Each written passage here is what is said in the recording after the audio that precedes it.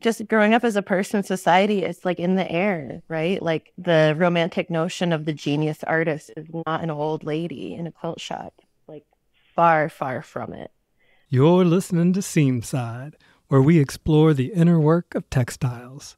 I'm your host, Zak Foster, and today we sit down with textile artist, performance artist, painter, and probably some other things too, Leslie Rogers. In this conversation, Leslie and I discuss how to set fire to quilts without burning them up, how to make quilts float on water the old fashioned way, and the non hierarchical thingness of things.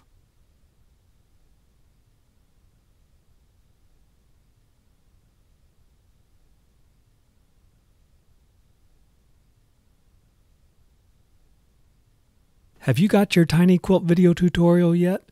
I made it and it's sitting there in the show notes just waiting for you. Feel free to download it if you're looking for a free 30 minutes sitting and sewing time with yours truly. You'll learn all kinds of basic hand sewing techniques that you can scale up to make non tiny quilts if you want to.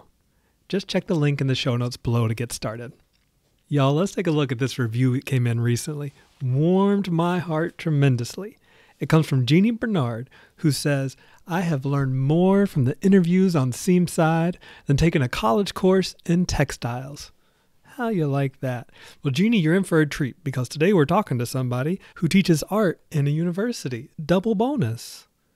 If you're feeling like Jeannie and you're really getting a lot out of this podcast, there is one little thing you could do that I would really appreciate, and that is leave me a kind five star review on Apple Podcasts. It is the best way for folks to discover the magic that is Seamside. Leslie Rogers is an unpinnable butterfly of a human being. Her creative practice flits from quilts to performance to garment making to puppetry. She's a deeply thoughtful artist whose often whimsical or jarring pieces are underpinned by hours of historical research. Leslie and I met at Penland, and if her name sounds familiar, it's because she came up in my conversation recently with Paolo Arao. That episode, How to Bring It All Together, is a treat in and of itself, and I'd encourage you to give that one a listen too. In this conversation, Leslie and I discuss how to set fire to quilts without burning them up, how to make quilts float on water, you know, the old fashioned way, and the non hierarchical thingness of things. I hope you enjoy How to Dance in a Quilt with my good friend, Leslie Rogers. Leslie, thank you so much for joining me here. Thank you. Can you paint the scene for us a little bit? Where are you sitting right now? Well, I'm sitting in the most favorite green velvet chair of all the cats that live in this house, of which there are three. This house is my partner's house, but I guess also my house. now, Leslie, you and I first met Mhm. about a year ago to date at Penland when we were both there for the winter residency. You remember that? Yes, it was lovely. It was so beautiful. I mean, it's just this little mountaintop oasis of craft and art and a little bit of snow here and there and just real Oh. just a lot of quiet is what I remember. Yes, that was my first, the first word in my mind as well. That it was very peaceful. I want to get back at some point in our conversation about the project that you were working on and I think are still working on Mhm. That you started at Penland, but we'll get to that in a minute. We have another point of connection as well, and that's our good friend Paolo Arao. Yes, yes. I love that guy. Perfect Paolo.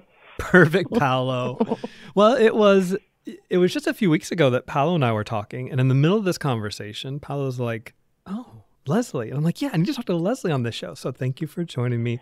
We both drew that day in that conversation two cards from the tarot deck: oh. three of wands, three of swords. And I'm thinking you are the third in the triad of this conversation. So thank you for hopping in. wow. Thank you. I'm, I'm so uh, appreciative of being invoked by the tarot. Yeah, but no cosmic pressure. All right, no cosmic pressure. I have enough Now- cosmic pressure. Yeah. So, Leslie, you do so much in your creative practice that I'm hesitant to put any labels on you whatsoever. So, I'm just going to ask you if you could describe yourself for us. What do you do? Whew, what do I do? I like to frame it in terms of things I learned in school and things I learned outside of school. Outside of school, I was trained in quilting and garment making from when I was like seven to 11. I went to lessons. Then later in life, after beginning college for art, I started working with Bread and Puppet Theater a bit and their vast community of former collaborators and performers. And that turned into a lot of puppetry and a puppet theater group that I had. It, it took a long time for all that to coalesce, but my work now tends to be based in quilt research, from which I find characters and engage in a lot of performance for live audiences or video. Does that sound right? that sounds perfect. Leslie, can you describe for us the very first quilt you ever made? Mm, that I can. I will first describe how it came to fruition. I, my mom really idolized someone she grew up with who made all their clothes. And when she had me, she wanted to head off the phase in life where your kid cares a lot about fashion and is asking for expensive clothes. She decided that at, starting at age seven, she would send me to sewing lessons so that later, when I hit that phase, I would have enough skills that she could say, No, go make your own. of course, when that phase did come, it was all about the brand. So it was ineffective completely. but I will say, actually, yes, later when I was into styling myself in high school, I did make a lot of clothes and I made really weird clothes and they were all out of like cartoon bed sheets from the thrift store on half price day and lots of ruffles and she was very uh embarrassed. she probably was like, Why did I ever send Leslie to sewing class? yeah. Maybe, maybe. Who knows? She I'm sure she is very proud of me if she ever hears this. Um but what happened was I was learning and learning and learning from my teacher about garments. And as I was learning, kind of running out of things to learn, and I was starting to feel like I wasn't encountering new challenges, I think my teacher kind of noticed. and she said, Well, would you like to make a wall hanging? And I didn't know what she meant. I just said, Okay. And uh, the sewing shop next door to a quilting shop so she brought me over there and had me pick out a pattern and the fabrics and uh, by, and learn how to read the back of that type. Um, and we made this quilt that was kind of, uh, it was a cat. It was a cat. I just realized that. Um, it was like a black cat in a field of grass sniffing a butterfly. And then when I was done, she showed me how to put like these loops on it to put it on a dowel so that you could hang it up. And she said, I said, oh, it's on the wall. like I like didn't see that part coming because it was a little quilt. Like we were, it was also a quilt. And she said, yes, it goes on the wall because it's art and you're a fiber artist. And that was the first time I heard that term. Um, and I think I was probably 10 something like that. Um, and so after that, I made more quilts with her, uh, more wall hanging, which pretty much to me are just smaller quilts that are too small. quilts are too small to have any other use. Put them on the wall. You know, end up on the wall. Um, and then later, when I when I enrolled in art school, I, I didn't really have a lot of insight or guidance on picking school from.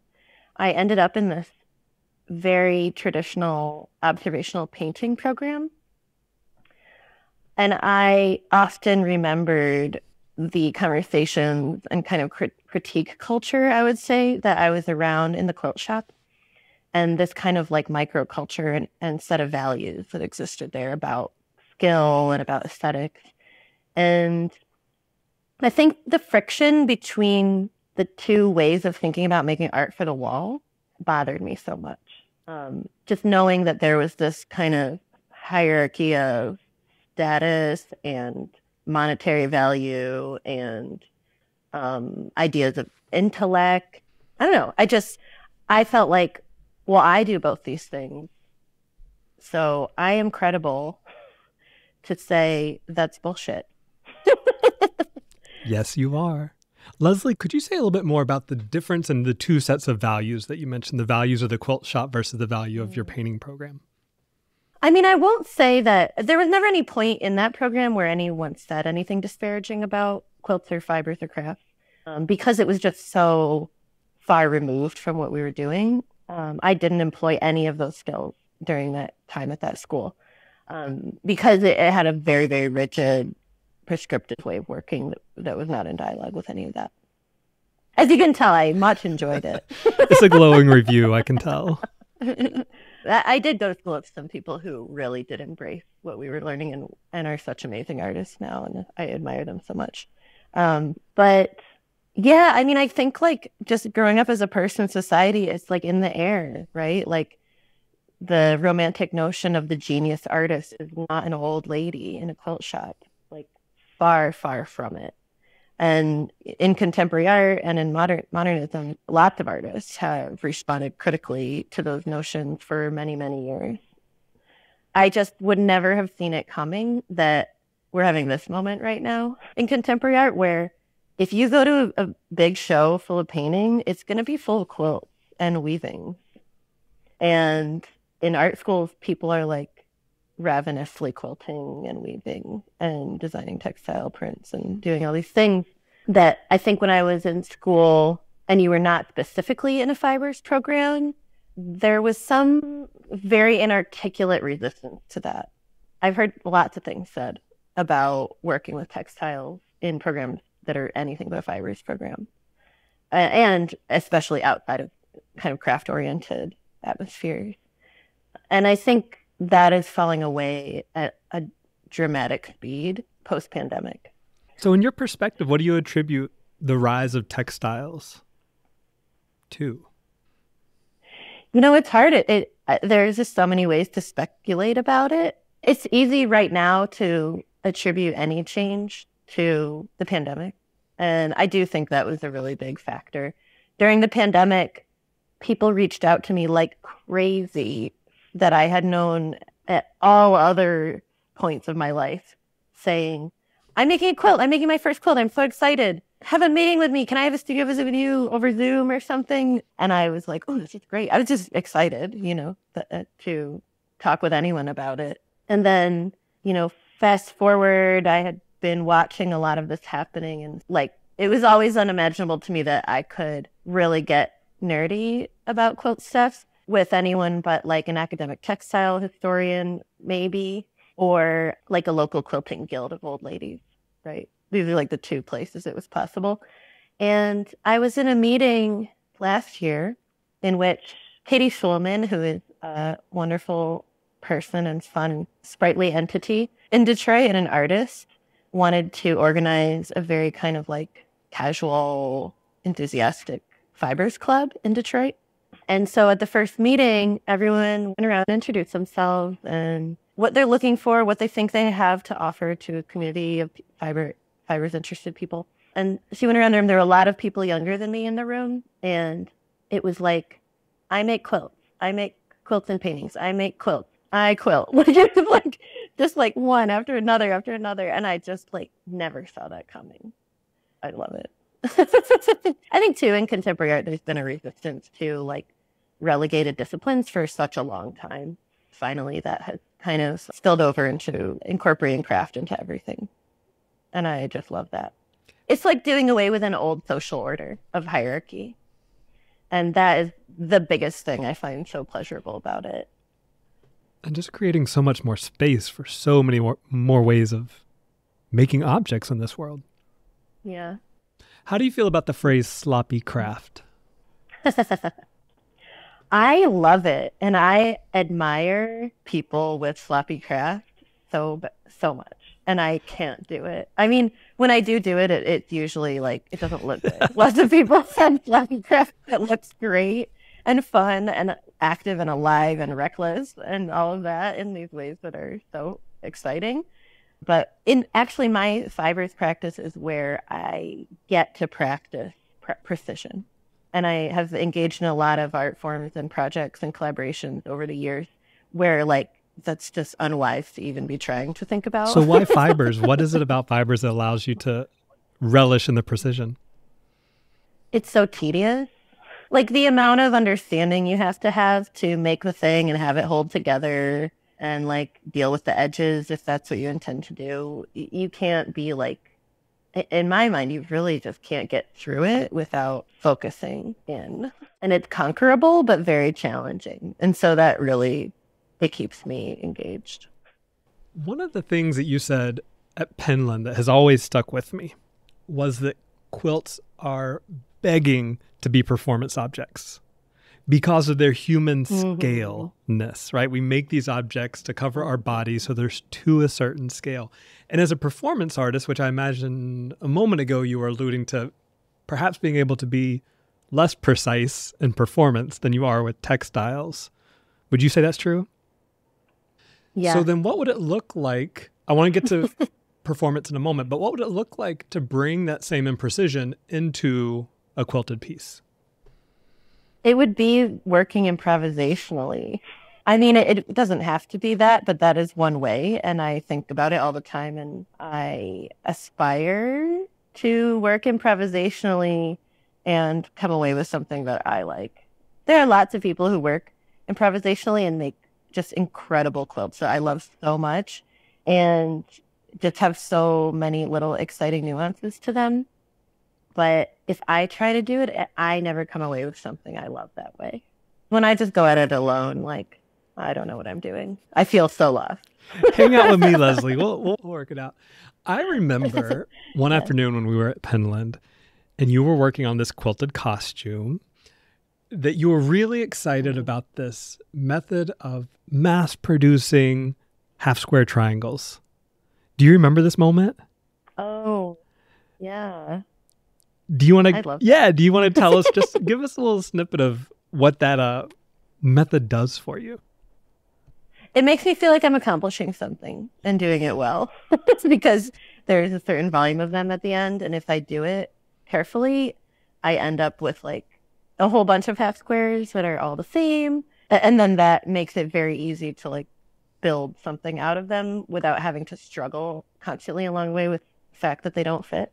But in the end, if I mass produce a bunch of perfect half square triangles, I have the ability to make these bigger effects, right? By composing and recomposing them. I could, that would be a good way to work improvisationally that I have not pursued is just composing them without plans and without a pattern in mind because they create so much consistency inherently. Well, when I was talking to Perfect Paolo, I gave him a homework assignment. So maybe this is now your homework assignment make a bunch of imperfect half square triangles and just see what happens. oh my gosh. I'm here for it. What were you working on when we were back at Penland? Why did you need so many half square triangles? Yeah, it's actually it's a larger project that's going to I, I plan for it to culminate in an exhibition and associated film called Lady of the Lake, the Milkweed Baron and the Monarch. And the way this project started was that I was at Art Farm, Nebraska, an artist residency surrounded by a prairie. I was thinking about making rope, like making the best rope that I can make, the sturdiest rope out of whatever is around, because I had slowly kind of caught on that there are all these plants around that are really useful for cordage. So I was foraging milkweed to use the fibers in the stems and so, just out of habit, I, I researched the milkweed a little bit and I saw that the floss, the milkweed floss, is the fluffy stuff that flies out of the pods every fall. I read that it is incredibly buoyant and was used to make life vests during World War II. I was totally enamored. And immediately I thought, can I stuff a quilt with it? Can I get enough of it in the quilt that I could float on that quilt? And that was when I was committed to this project. No more research. Leslie, how many, I don't want to interrupt your flow here, but how many people do you think have thought that same thought in all of human history? Oh, about the actual floating on it? About yeah, using milkweed to stuff a quilt so they could float. Oh, oh, the, people definitely have stuffed milk, have stuffed quilts with milkweed, but I don't know if they have tested them on the water. okay, go ahead. Yeah, so I got really deep in this history, and what I learned was I learned about the milkweed baron, right? The title is The Lady of the Lake, the Milkweed Baron, and the Monarch. The milkweed baron is this man, he was a real man named Dr. Boris Berkman. He was a physician in Chicago, and he had this fantasy of living the American dream by becoming an agricultural baron via industrializing milkweed, which he recognized as the he believed was this uh, overlooked cash crop opportunity. He approached the Department of War during World War II because previously lice were stuffed with kapok fiber, which functionally is very, very similar to milkweed floss. And at that time, we got most of our kapok fiber from Southeast Asia and India. Because of the war with Japan, the trade routes were cut off and we couldn't get it. So how are we going to make lice vests for the war? So he got the Department of War to fund him to support him in in working the kinks out of a milkweed gin, like a cotton gin, but for milkweed. And then building 11 of them in a warehouse in Petoskey, Michigan. And the Department of War also supported him in putting out a national propaganda and foraging campaign for people to forage milkweed pods out of patriotic support of the war. When the war ended, Department of War pulled the funding. At some point, it seems pretty soon thereafter, the the gins got scrapped. Like this factory doesn't exist anymore, and his dream was over. Right? it like didn't work. One of the other reasons that he did not be- successfully become a baron was the nature of the plant itself. It just the way it grows and the way it has to be harvested just does not lend itself well to the technologies for industrial farming that we used then and we still use now. And I think there's this like still this fatal flaw in his plan. Number one, that he was trying to there's no way to like exploit exploit a plant enough to become a bazillionaire without like having a lot of pl- precarious plans, right? So it depended on all this unpaid labor because he had modeled what he wanted to do on the cotton industry, right? It's just like so full of flaw. And that time, like a lot of agriculturalists thought that these machines would replace the human labor that they had built their industries off of. And to date, that has not worked, right? Exploited human labor is a huge part of the agricultural industry still. So I knew that the quilt would float. I was confident it would float. I looked up like how many ounces of milkweed fluff per pound you need to float. And um, do you know that number off the top of your head? No, I don't. Okay. I don't. I don't remember. I know that I needed minimum three, three or four pounds of it in the quilt to float myself, but the quilt's gonna have like six or seven pounds of it. Just to be safe. Yeah, also because it's a weird shape. I assume it'll like wrap around me like an egg okay. or something. you know, like not really near wrap. So then I had to solve what the pattern was going to be, which again, like it's an important decision and I really was at a dead end. So I just started looking up patterns that have names that have to do with the water. And I found this one pattern called Lady of the Lake. It's like the the pattern is a fractal half square triangle. It's a half square made of half squares. And the way that they're oriented, if you look up this pattern, is made to look like um, when the water is placid and a breeze goes by in the sunset, you get this like texture of like orange and blue or something of all the little waves that are aligned with each other. It's made to look like that. And it's called Lady of the Lake because the most popular book or one of the most popular books at the time was this novel length poem by Sir Walter Scott called Lady of the Lake. The quilt pattern emerges from Maine about 10 years or less after that book comes out.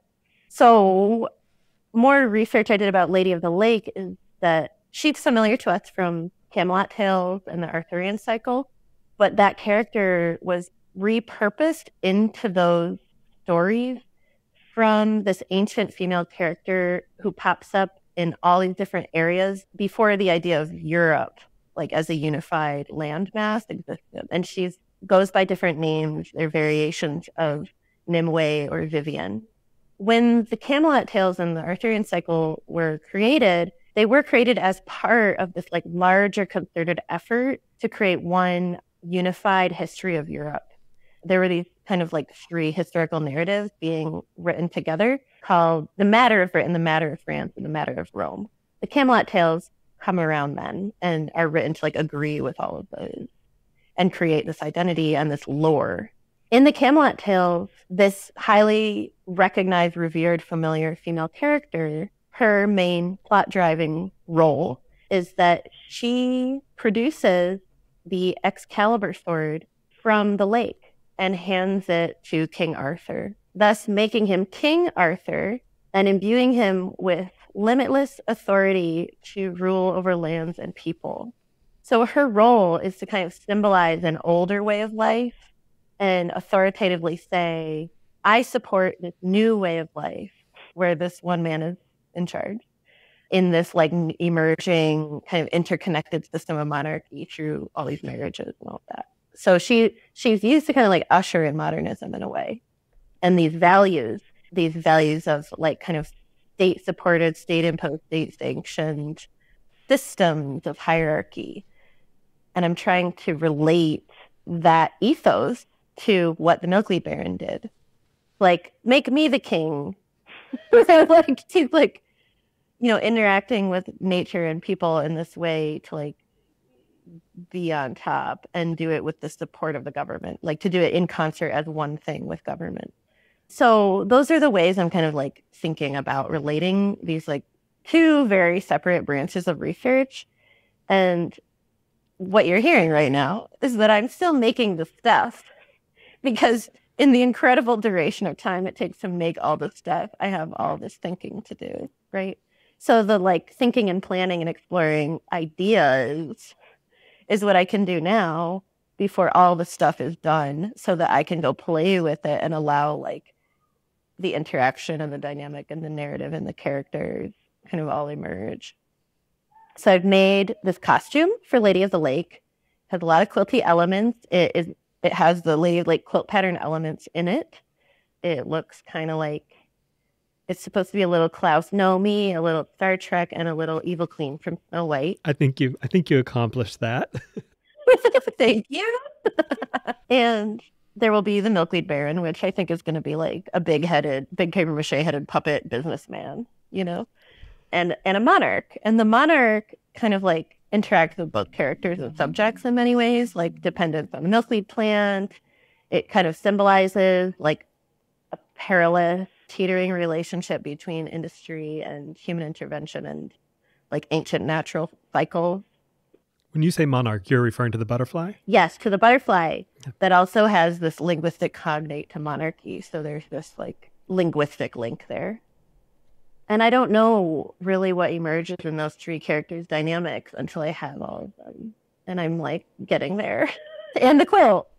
I'm trying to kind of like theatricize the making of the quilt and like engage in these kind of vignettes on video where these different there's different approaches to all these processes that like end in the quilt. I love that you're really like just wringing out every last drop of the process as part of the project. Yeah, and I think like that's somewhere I want to move into in my practice because there is so much process. And it is funny, like I have a few friends who have made jokes to me about how ridiculous it is that like with the victory dance that I spent just like so much time and labor and months and I got so much help and like there's just so much work that went into making that quilt perfect like to the closest possible viewer and it was made for this like silly dance from far away on a video once. And we like like I shot that film. I shot that video in like a half an hour. you know? and, then, and, then, it was like done. you know? yeah, yeah, yeah. But I guess in this case, I'm trying to like find ways to incorporate more of the making and the meaning that comes through making things in various ways, like different characters associated with making things in various ways through various approaches. Like I'm trying to like portray that in this one project. And not just producing something, but performing the production. And yeah. how many different ways can we perform the production? Yeah, so the quilt is made but has yet to be stuffed. There's still floss to process and I have these two character costumes. I'm about to make like a head for the Evil Queen, Lady of the Lake, Star Trek Klaus Nomi. And um, the last thing I have is I need to make the Milkweed Baron and the Monarch. And another thing I have already made is I made this Excalibur sword that's also a buoy when I was in residence at the Open Studio residency at, at Haystack School of Craft a couple years, a couple summers ago, two summers ago. I learned basically learned woodworking to do that it wasn't for no other reason. So why not? It was fun. I sealed it with real buoy paint that's for buoys because later I actually drilled the tip of that sword through a, full of holes so that I could put fishing weights in it so that when it floats in the water, the tip will point down and the handle will point up. So that it'll it'll kind of like bob around that way and look kind of like sword in the stone, right? Like that you would reach down and like unsheath it from the, the lake. And in in the Lady of the Lake stories, the lake itself is this portal to this like fourth dimension that is the old pagan ways with, you know, more dialogue with nature. And it's where she actually brings Arthur.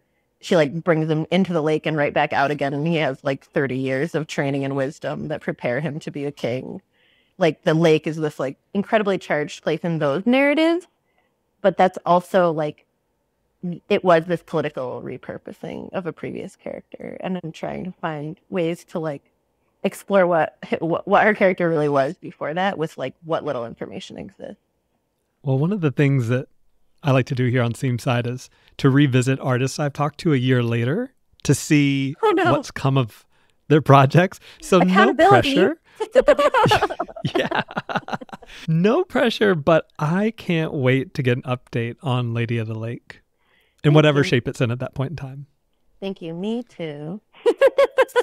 I want to take a moment to read you some of your words back to you and get your take on how it fits with this particular project and then in your creative practice in general. But you said at one point that performance is where it's going, it being your work. I don't start with performance, but it doesn't feel done until it becomes a performance. Mm. Yeah, that's true.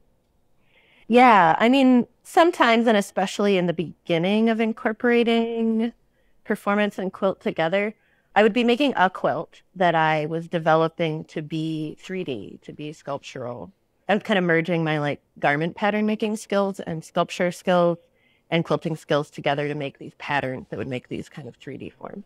And I was trying to make them very corporeal and give them use potential, like make them in a way where they could be worn or performed, but that they would feel finished as a figure sculpture in the room if there wasn't a body in it. And I was kind of doing that as like a fail safe.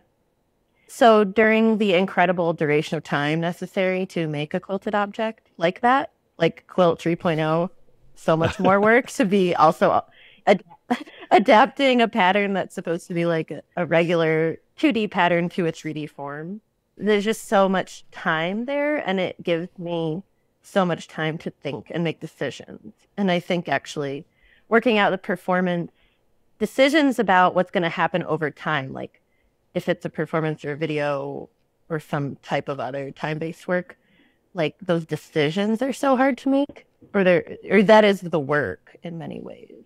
It's a different type of decision making. I always say a good puppeteer doesn't decide what the puppet does and what its character is like or how it acts and feels until they've made the object, until they've made the puppet. Because if it doesn't really have that kind of attitude about it in the way that it moves, you're working very uphill at that point. I try to make these things that have a lot of use potential, usually usually that have a potential to be worn or be animated by a person in some way.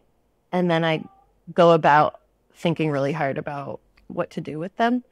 And then I try things out with them and like kind of see what evolves.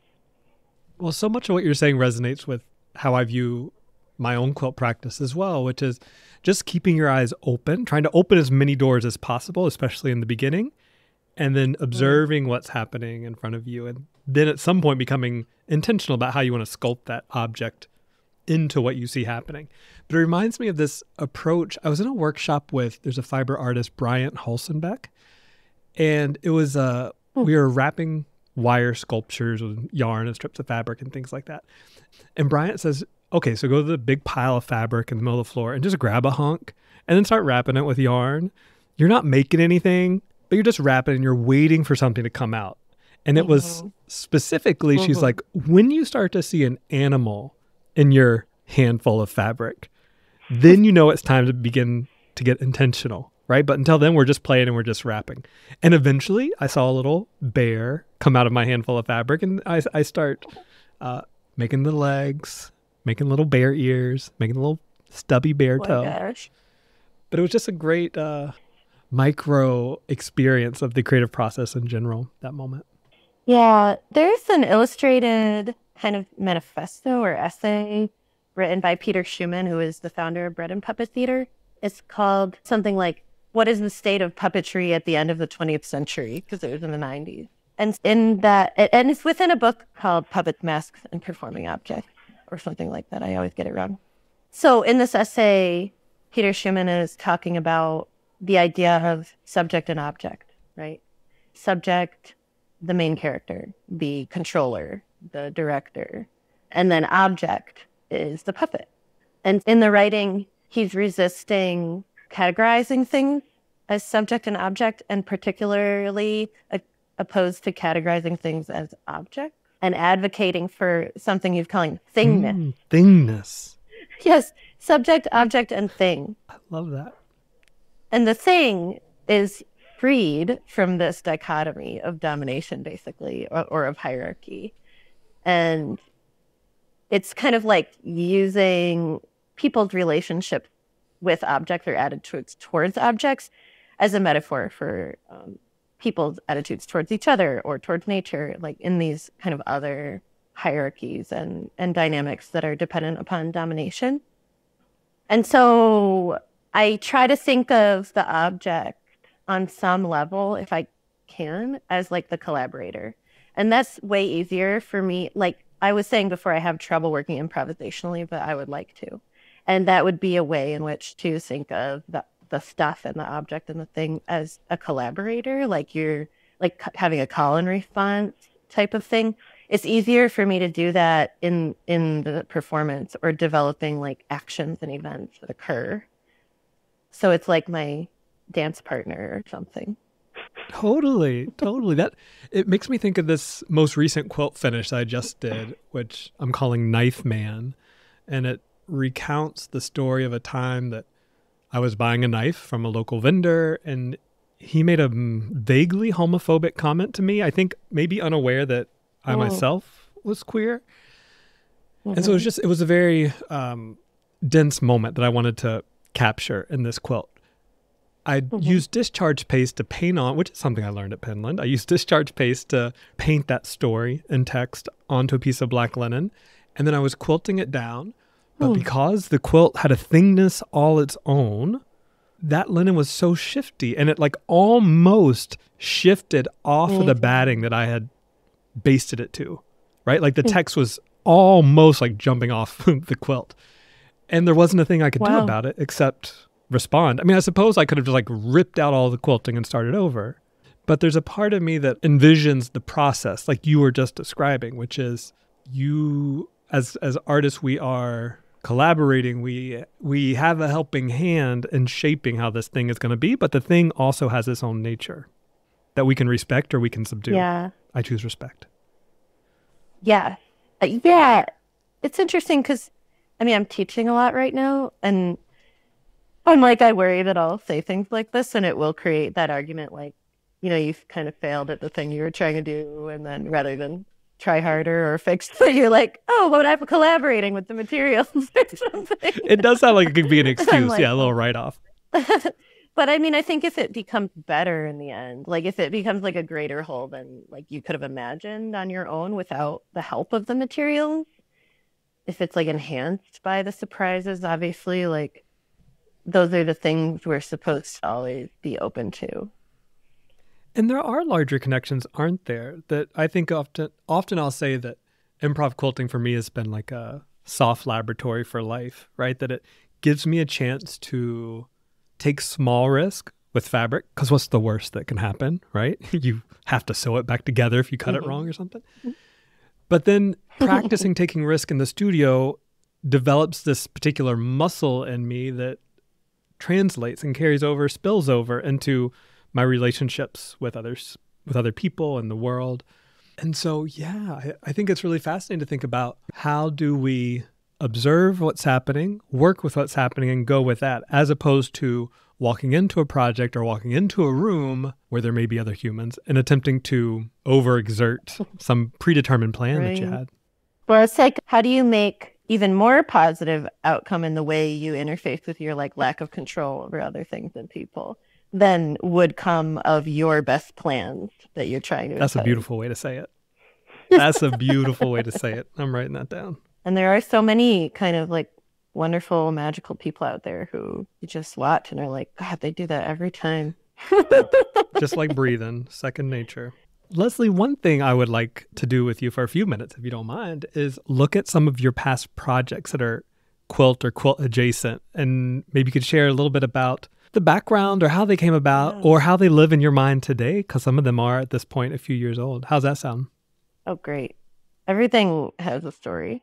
It's way more fun to tell the story of each project than it was to actually make it. Yeah. Good. Well, then you're in the right place because uh, we're here to tell stories. So I think that's wonderful.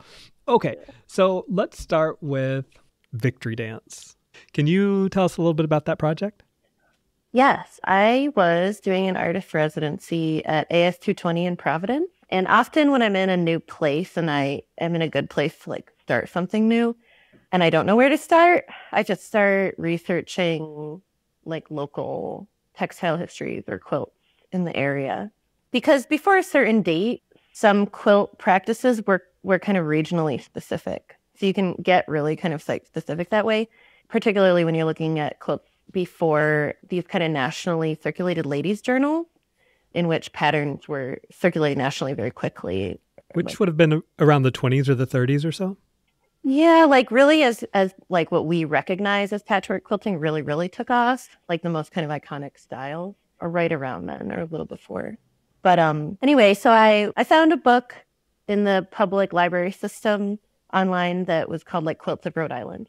And it turned out to be in a special collection at the Providence Public Library, which was across the street. So I went across the street to that desk to request this book or see if I could see it. And the person guarding the special collection was Angela DiVeglia, who was someone I knew from years ago at Bread and Puppet Theater. And I didn't know that in the ensuing years she had become a librarian or that she lived in Providence. it was like serendipity. Just like I, I depend so much on serendipity when I like am gathering steam, right? Mm-hmm. She found the book for me, many other things. I actually spent like the rest of my residency going to parties that were so fun that were like all librarians. it was so great. But in the back of this book, like when you read the jacket, it would point out notable quilts in the book and it said, and a quilt by a vampire. I was like, do tell. I looked it up and there was a quilt by a 17 year old girl near the end of the 19th century named Mercy Brown.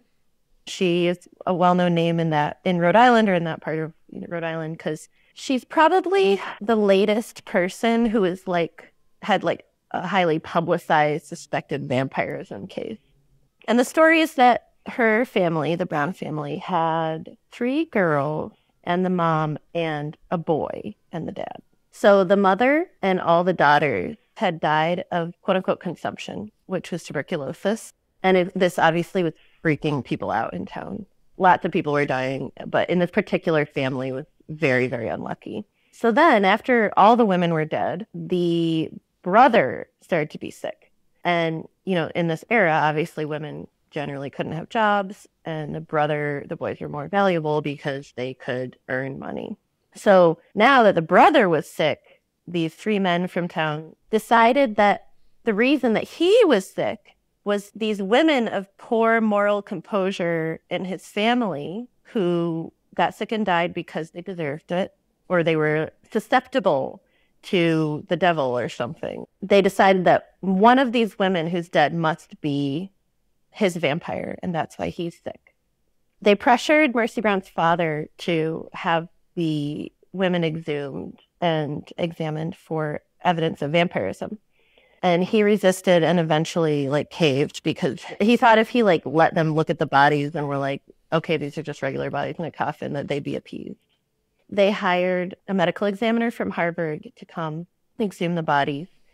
And mercy brown had died last. She had died in a really cold part of the winter where the ground is frozen solid. People would be kept their bodies would be kept in this above ground catacomb until the ground thawed so they could be buried if you're underground, your body is warmer than if you're above ground in freezing temperatures.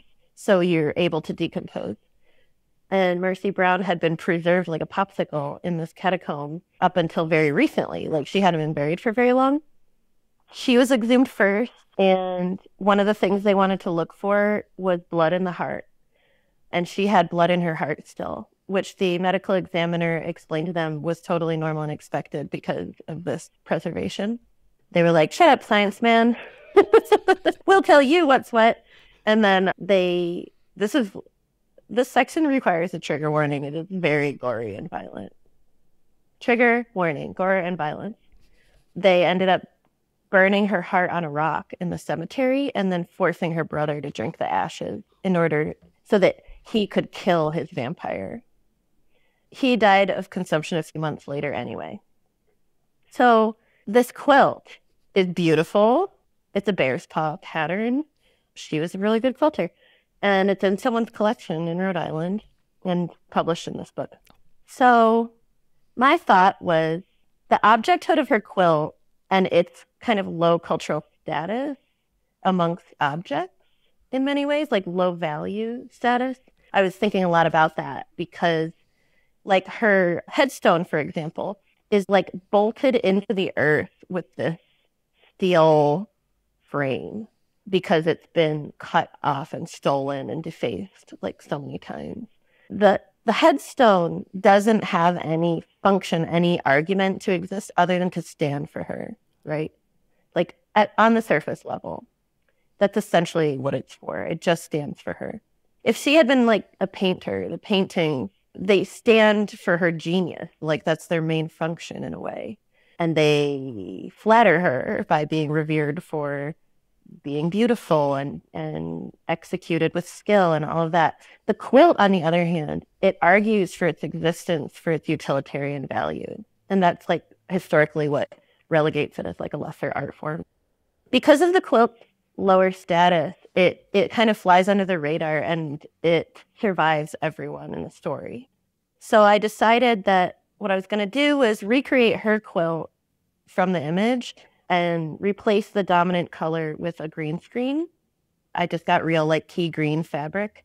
Logistically, you could have used any color and it would work, but I used like key green, like identifiable key green. And then a friend of mine, Emmy Bright, brilliant genius artist who also makes quilts now and who lived for a long time in Rhode Island in Providence, she agreed to wear the quilt over her head like a ghost and um, do this dance. And what we talked about was um, doing it. It's called victory dance because it's like the kind of silly victory dance you do when you like get the Christmas present you asked for or make a touchdown. Like I win, I win, and um, she does this dance in this dilapidated church as a, like a reference to this church and church community and whole community that is also gone. You know, like essentially past yeah, I, I guess I'm kind of like trying to pose the quilt as actually winning. I think the quilt is winning. Yeah, it survives literally everyone else. One detail, I mean, this is, is fascinating, and the image, the still that you have online is fascinating. One detail that you haven't touched on yet, though, is why oh, you yeah. used the key green fabric. Yeah, I made the quilt with the key green fabric. But in the video, the green is replaced with fire. So basically, it's a quilt made of fire. Like the quilt is not being destroyed by the fire; it is the fire. you know, it's like invigorated by the fire and animated by it. It's incredible. Oh, thank you. I I had a lot of fun doing that one. Other than the immense amount of labor that I got a lot of help with. Is the video available online? Is that something we could include in the show notes, or is it just the video still? Yeah, yeah, that's on Vimeo. Okay, I'll I'll find that and get that added so folks can see it. Now, can I ask you about two more quilt projects? Sure. I think a next one would be Ghost. Can we talk about Ghost? Yeah, Ghost is the first quilt I made between when I was 11 and when I was in grad school in my maybe mid mid to late 20s. I can't remember. So, I was living in Richmond, Virginia. I wanted to bring the quilting back in and I think at that time, due to the kind of discourse around the program I was in and the moment that we were in in contemporary art at that time, and particularly in sculpture, I think I was trying to navigate bringing quilts in and getting people to actually care. I, I, had been learning uh, Rhino, the 3D modeling software. Previously, when I would pattern things, I would draw them in like bird's eye view and the side view and all of that on quarter inch graph paper. And then when I learned Rhino, I was like, oh, this is literally the same thing. And like it does, it measures for me. I knew I wanted to make a, a figure, like a form, human form that could be a figure sculpture, didn't have to be, could be animated, unclear. And I wanted to basically to do it by extruding the simplest form that I could from a round quilt block pattern with like radial symmetry.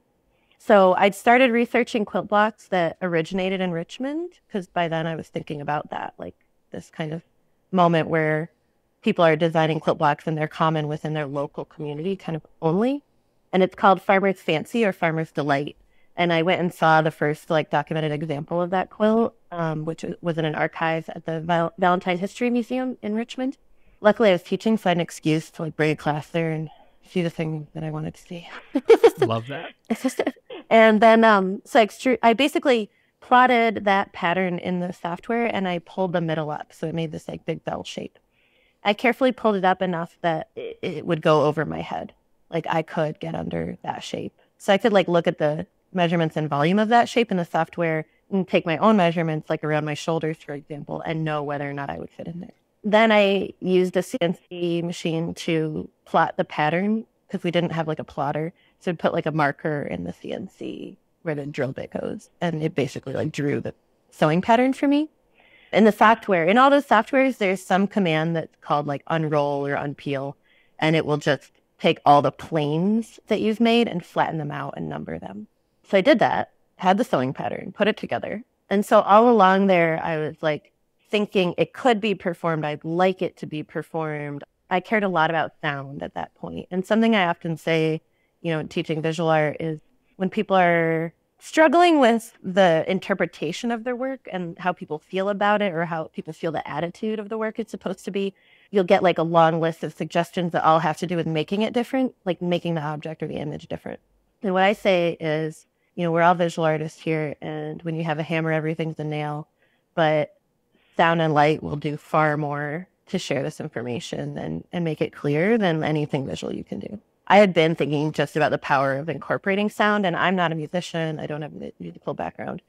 There was a, a vocal, a kind of choral vocal technique that I was interested in and attracted to from being at Bread and Puppet Theater, and it's this Georgian singing, Georgian choral singing that uses like harmonies and and the note scale in a way that we wouldn't really we're less familiar with. So I had been just searching around, seeing like is there anyone around here who's interested in that? Like, I know that from New England, but I don't know. That's in my intuition. This is like the right sound. And I couldn't solve the problem. I ended up solving it the way I solve many problems, which is complaining a lot out loud to everyone that I see. I love complaining. I think it's one of the healthiest things you can do. and then so finally somebody was like, you know, there's this local woman who is named Antonia Fisher Duke who is a trained opera singer, and she developed this vocal technique called Vox saw, V O X, like body or person. And it's meant to sound like a musical saw. And I thought, oh God, like the patchwork quilt is is such a piece like in this particular style and genre of patchwork quilting where this pattern came from is a very post-colonial American thing. It's like a piece of Americana. It's literally red, white, and blue. right. I mean, well, that one, funny that you say that. It's actually like safety orange, white, and blue. Close enough. so I thought, again, I was like, here's a moment of serendipity. This woman agreed to meet me, and she came into the space where the exhibition was going to be, which was like this 10,000 square foot corrugated metal box. It was like, it reverberated so strong. That was one of the main reasons that I decided to go ahead and, and take on solving sound as part of that piece is because when I walked into the exhibition space, it just echoed so huge. And you could like hear almost like violin music, like the vibrations of cars going by on the highway nearby. It was incredible. So she came in there with me and she demonstrated this vocal technique and it filled like every square inch of the entire place. It was stunning. And so she agreed to do this performance where I would lower this bell shaped thing with eye holes over her. She would perform the technique. She decided, I, I, I worked it out with her. I was like, well, in, in a perfect world, I imagine this is just kind of like going on all night as people are milling about the opening. But being someone who's not trained in singing, I didn't know that that's really exhausting and impossible. So she said that she thought she she thought what would be comfortable for her would to do it for 15 minutes on and then take a break for 15 minutes and alternate that way. And that was what we did is I would lower it over her like a feeder prop, right? I had like a rope going up to the ceiling, down the wall on like a cleat. And I would lower it over her and then I would unhook the rope and take it away. So she wasn't like tethered anymore. And she would sing. And I thought, you know, often when visual artists, I think, are starting to work with time based performance like that, you like will try to do something that like happening or unfolding during the opening, thinking like people will just kind of walk by my work or look at it a little while and then look at everyone else's equally. But something about that being time based in a performance where something quote unquote happening and the like very theatrical aesthetic of it made it such that every single time she sang, everyone would come over and make this big giant horseshoe shape facing her. Only in front of her, like people would rarely kind of walk around the back because it's like impolite or something. You know, it's like weird to be like creeping up on someone Even if they're covered in a giant bell shaped quilt. Yes. Or maybe you know you don't want to be on stage, right? Mm. And it hmm. would feel like you were on stage. Yeah, this just happened every time and it was revealing for me in many ways. Just like what happens when I like work this way, especially when I work this way in a group show. And like what are the ethics around that? Like stealing the whole audience for 50, every 15 minutes or something, you know? Or not like all of them, but like changing the way people are moving around the space and moving them back to my work over and over again. I felt a little bit like, attention hog. Oopsies. Well, it's a beautiful thing in and of itself and I can only imagine what the Vox saw sounded like in that in that open warehouse of a space.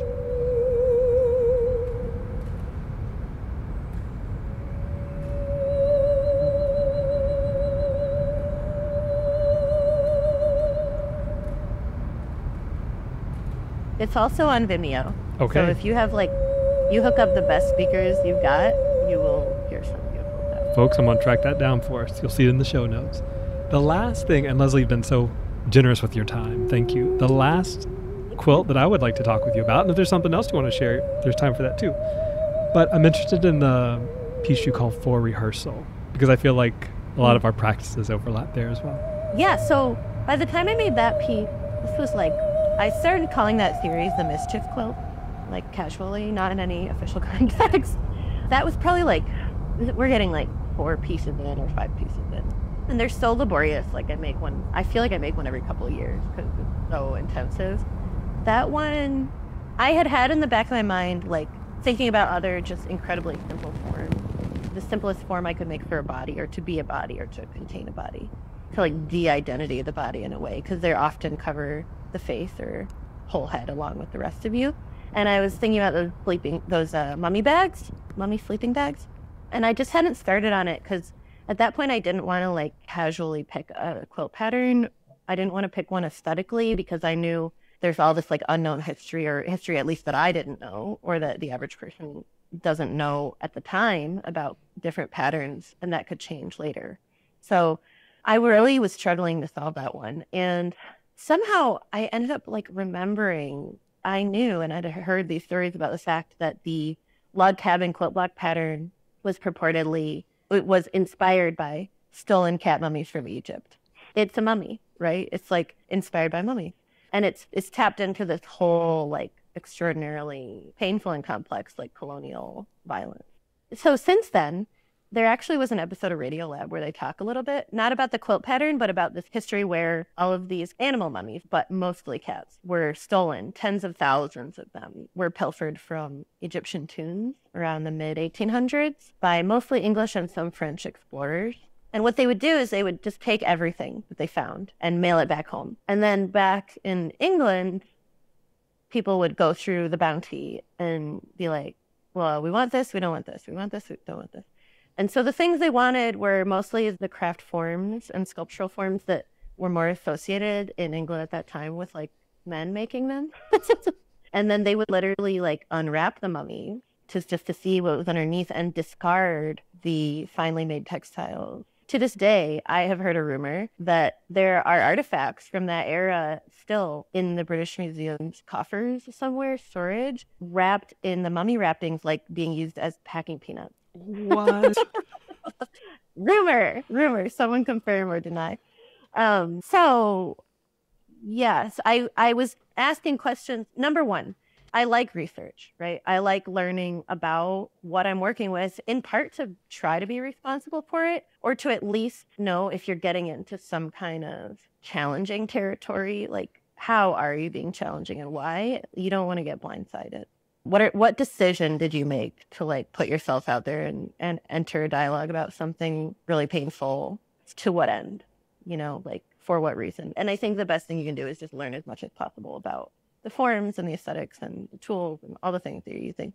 I also think when an artist engages in a lot of research, is something about that research and context isn't built back into the form. If the research doesn't then somehow influence the actual making process and the end product, like why? Like just write a paper. you know, like or or sometimes there's like a tome of text like next to the piece. And if you don't like take both in you're not really kind of fully appreciating it. So i try to avoid that. I try to push myself to like build the research back into the form. And this piece i felt like was a good example of like where i felt successful at that. I had learned this thing about the quilt the log cabin pattern and then i made the form informed the mummy form is informed by that history so made this mummy suit. It's made so that I can wear it. It has a zipper that starts at my eye and kind of spirals inside the pattern around to my feet so I can get in and out. And then I do this performance where it has kind of two narratives in it. The first one is sharing this history of the quilt block pattern in this kind of like theatrical way with a lot of attitude. And at some point, the audience, at this point in the story where the stolen goods are shipped back to England, the audience crowd surfs me from my home, which is the stage, to my display at their hometown cultural institution, which is usually the bar. And I come out as an angry dead cat. So, which is fun and dark. And like, I hope that it is also received as critical of that history. Anyway, there's that. And then within the performance, too, there's also, I call it for rehearsal because the idea of the mummy is this kind of like transition between life and death. Like, it's like kind of a quasi death, quasi life state. And when my father was terminal and I was taking care of him, I would often walk through the living room and he'd just be in there alone, no TV on, and he'd have a bed sheet over his head. so he was like laying on the couch, like just reclining with the bed sheet up over his head. And it was such a like striking image. Like it was like a Halloween ghost or like when Alec Baldwin and Geena Davis put on bed sheets in Beetlejuice to become like visible and scary ghosts. And it's like so cute and it doesn't work. It looked like that. And he was dying right? Like he was i in the performance i say he was half dead because he half of his body was paralyzed at that time. And he was terminal right? Like it wasn't like he was in the process. He was like quasi life and so i fictionalize our interactions around that and i say well he was rehearsing being dead and i was giving him notes and like giving him suggestions about how to appear more dead and like you know you gotta like sit still in front of the window and spring up like this when someone walks by, like all these things.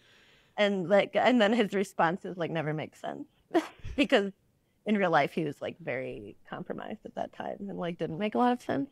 So I propose in the performance that you make a garment for rehearsal, a garment to like rehearse being dead, and you visit your loved and hated ones in life and get them used to your corpse. like as like this kind of act of generosity, right? Just get used. It's okay. Like, just think about me being dead. I'm here to like help you through it by wearing this like death suit. And also, one of my favorite parts about that part of the narrative and that performance is that I like perform being a brat, right? Like, I'm not a brat at all. JK, I'm a huge brat.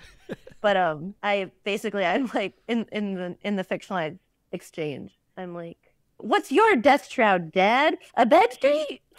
My death shroud is highly researched and laboriously made and partially based on stolen cat mummies. What is your death shroud? What's your death shroud for? A bed? Like I'm like trying to like one up him how kids sometimes get like the child generation will get competitive with the parent generation, try to like outdo them in some way. Or my partner really likes to say that um, my stepdaughter's form of rebellion is being better than him at everything that he loves. and if she doesn't, she definitely doesn't do it in a spirit of you know competition or you know, she doesn't want him to feel better. I think she just is better at a lot of things. just turns out. it turns out like Magic the Gathering. Leslie, it has been such a pleasure to live inside of your brain for the last hour. Thank you so much. Oh my God, thank you. It's like I just contain too much about these things to put anywhere. we'll help you hold them. We're here for it.